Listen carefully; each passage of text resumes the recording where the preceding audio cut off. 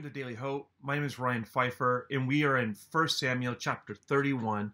It is the last chapter of 1 Samuel, and it is the last chapter in Saul's dynasty. Before we jump into the passage, I just want you to reflect for a minute. What do you hope your lasting legacy will be?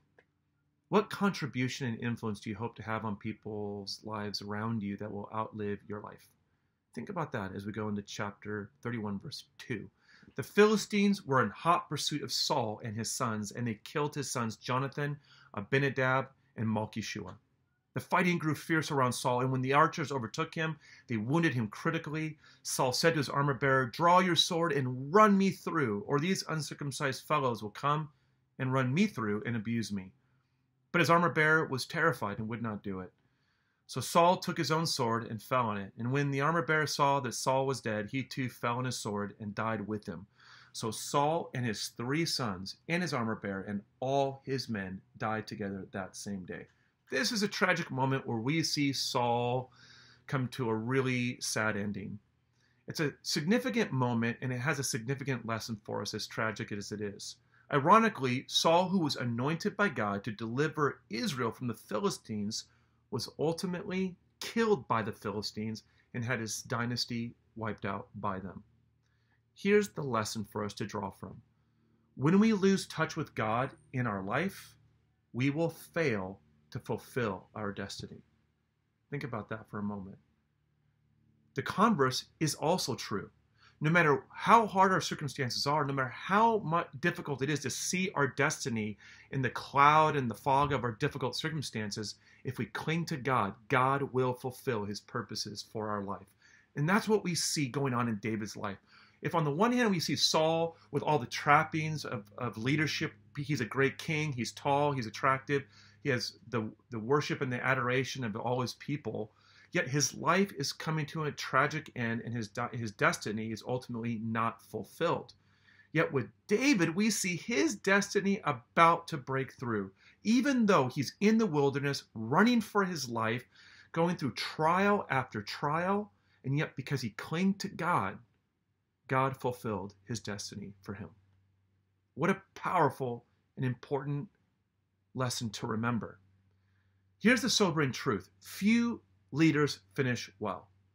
But Dr. Bobby Clinton, or the late Dr. Bobby Clinton, who was a professor at Fuller, did a research project on 1,300 case studies on leadership. 50 of them were biblical, 100 were historical, and from all this research, he came out with some key insights. Number one, only one third of leaders finish well. That's a sobering truth. What keeps us from finishing well? Well, as we said, we, as we look at Saul, we realize by not clinging to God, we will fail to fulfill our destiny. But Dr. Clinton also brings tremendous insight into what leaders who finish well share in common.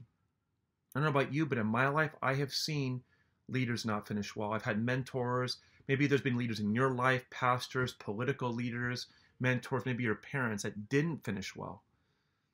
And you're wondering, God, how can I finish well and not fall into the trap these other leaders have fallen into. So here we go. Six characteristics. Number one, they maintain a personal, vibrant relationship with God right up to the end of their life. Number two, they maintain a learning posture and can learn from various kinds of sources. They commit to being lifelong learners. It says in Proverbs that the wise are always adding to their wisdom. It also says that he who hates correction is a fool. Consider that for a moment. Number three, they manifest Christ likeness in character as evidenced by the fruit of the Spirit in their lives. Character matters, and submitting to the character shaping processes of God in our life really makes a difference. It's not just what we do or where we're going, it's how we get there and who we are in the process. Don't ever let anyone tell you otherwise. Character matters in all leadership positions. That's biblical truth. Number four, leaders who finish well live out truth in their lives so that convictions and the promises of God are seen to be real. They're not just talkers of God's truth, they don't just agree with God's truth, but they live it out and they obey it, even sacrificially. Number five, they leave behind one or more ultimate contributions. They don't just see their life about investing in themselves, but about making a contribution and an impact on those around them. This father told me that he wanted to leave a legacy for his children that was different than what his father left for him. He wanted to leave a legacy of gentleness and calmness under pressure. Wow, what a powerful legacy to leave to your children. It's something his dad couldn't give him, but he wanted to give that to his kids. That father is going to finish well if he holds to that. Number six, leaders who finish well walk with a growing awareness of a sense of destiny. Now, I want to just impart to you a sense of destiny with a word of prayer. In Proverbs 4:18 it says this, "The path of the righteous is like the morning sun, shining ever brighter to the full light of day." I want to pray over you right now. May your life be like the path of the righteous. May it be like the morning sun, rising brighter all the days of your life. And may God impart to you a sense of destiny. And may it shine brighter through all your days. God bless you. Have a great week.